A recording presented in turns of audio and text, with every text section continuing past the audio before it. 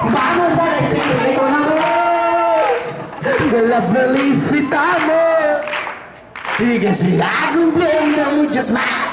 Que la Virgen la tiene que cuidar, que de mi parte, de la vida, me faltará.